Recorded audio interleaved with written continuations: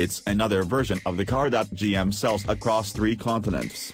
It's known as the VXR8 GTS here in the UK, the Commodore in Oz and the in the US of A. They are not exactly the same car in each territory, the UK and Australia getting supercharged LSA V8S while the US cars rub along with the normally aspirated, lower-powered LS3 motor. But other than a broad spray of detail changes they all ride on the same platform.